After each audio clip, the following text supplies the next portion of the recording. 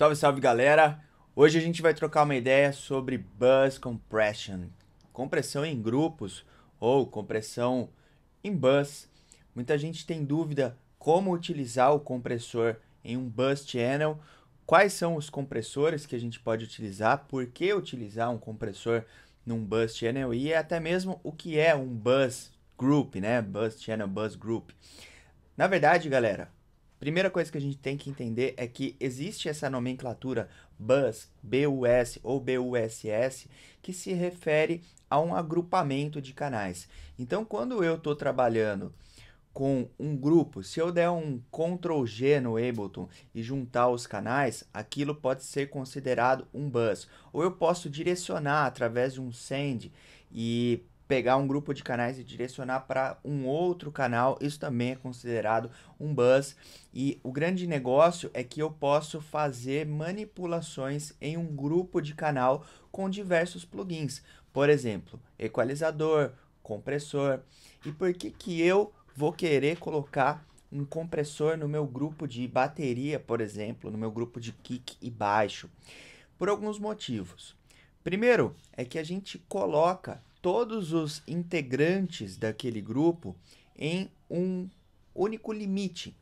É como se eu colocasse um monte de pessoas de diferentes tamanhos. Essas pessoas têm 1,75m, 1,60m, outro tem 1,90m, outro tem 2,10m.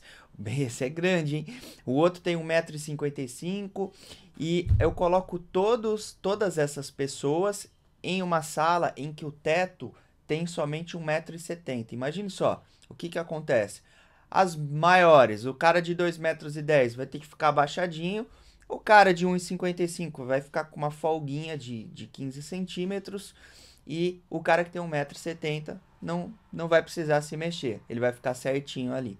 Então, quando eu coloco um compressor num grupo, eu estou adicionando a este grupo um limite dinâmico para que os picos não ultrapassem esse limite e assim eu consigo uma massa mais sólida, com mais headroom, que é o espaço entre os picos e o 0 dB.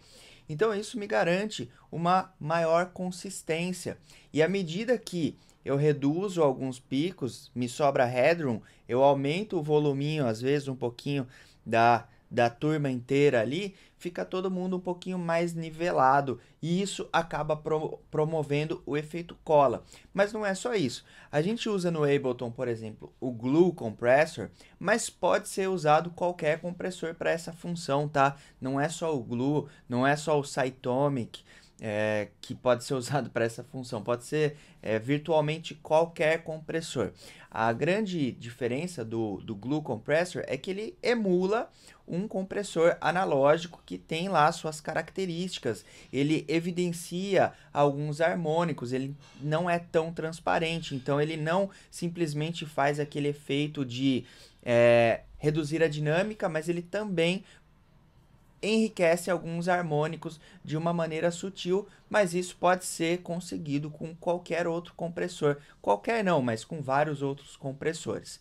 Eu estou aqui no Logic e eu vou pegar minha bateria. É, muita gente me pergunta também, muita gente não, mas algumas pessoas já me perguntaram isso, se o kick deve ser colocado no mesmo grupo da bateria ou no grupo do kick do baixo. Eu gosto de deixar o meu kick isolado com o baixo, porque o kick e o baixo, no tipo de música que eu produzo, ele faz um casamento ali muito louco. Então eu gosto de deixar o kick separado junto com o baixo, mas você pode deixar com a bateria sem problema, tá? Depende daí do jeito que você produz. Então eu tenho aqui a minha batera. Aqui no Logic eu posso direcionar essa batera toda para um bus ou eu posso agrupar que nem no Ableton. Eu vou fazer o direcionamento. Então eu vou selecionar todos os canais aqui, vou apertar X. Se você usar o Ableton, não usa o Logic, não se preocupa, tá? Foca no conceito aqui. Foca no conceito do bagulho. E aí eu vou pegar aqui, já está direcionado para o bus 3. Eu vou direcionar todas para o bus 4. Todas, todas para o bus 4. Beleza. Então, aqui, esse é o canal, esse canal aqui, que é esse aqui no final, ó, esse aos 4 aqui, ó. toda a minha bateria vai passar por esse canal aqui antes de ir para a saída. Então, se eu colocar, e esse canal é esse mesmo que está aqui, ó. Se eu colocar agora um compressor nesse canal, pode ser qualquer compressor. Então, o que você precisa se ligar é o seguinte, quando você coloca um compressor no grupo de canais, ó, ele estava batendo aqui,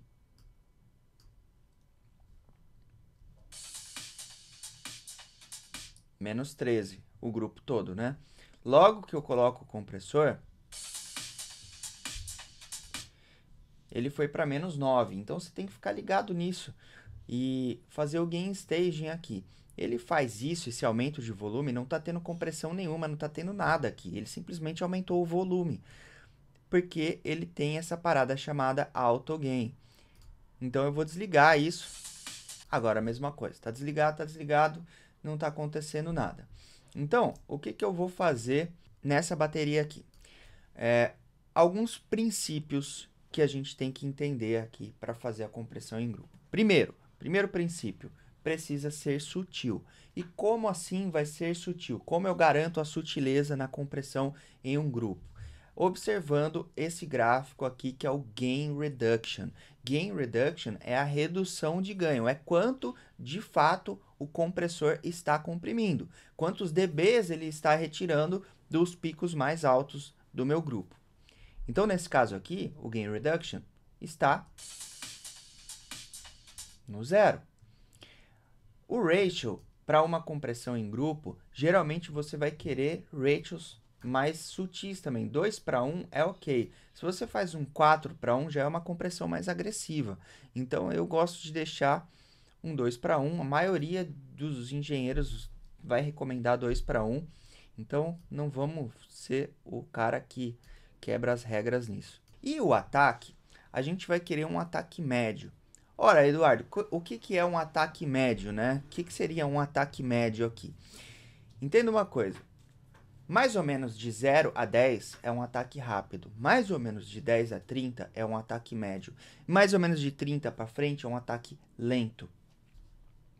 O release, mais ou menos de 0 a 100 é rápido. Mais ou menos de 100 a 200 é médio. De 200 para frente é lento. Mais ou menos isso, tá?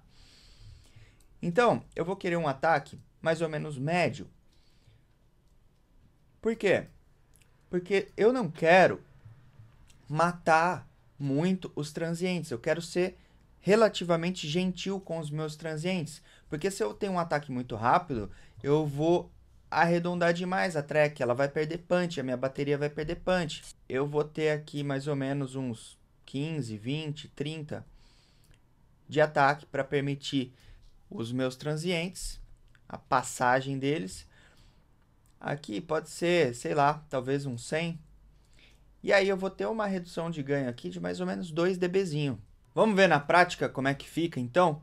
Eu estou aqui com o meu ratio de 2 para 1, meu ataque está mais ou menos 25, o meu release está 50, mais ou menos. Vamos ver como é que fica isso.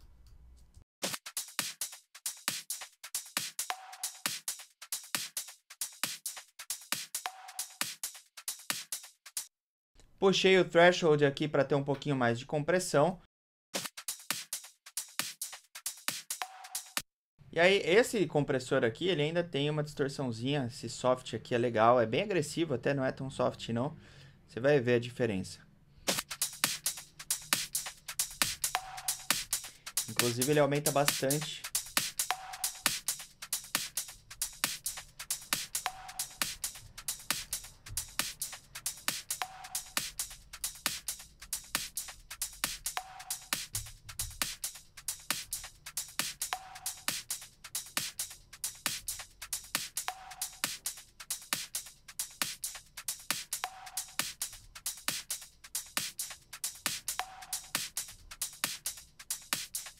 uma coisa sutil, né? A gente não vai fazer nada muito agressivo. É, o mesmo poderia ser feito com outros compressores, como por exemplo esse Vertigo da Plugin Alliance, da Brainworks, na verdade, né? Então deixei aqui também um ratio de 2 para 1, ataque 30, release automático, que é bem legal. Release automático sempre funciona bem. Esse aqui, inclusive, estava no automático também.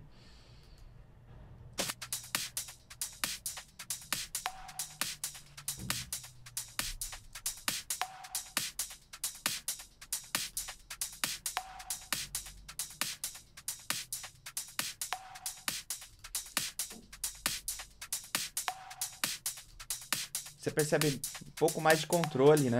Redução de dinâmica mesmo. Isso aí, uma certa sutileza, um efeitinho cola que você pode utilizar na sua bateria para controlar um pouco mais a dinâmica, ganhar um pouco de headroom e, consequentemente, ganhar volume, ganhar punch.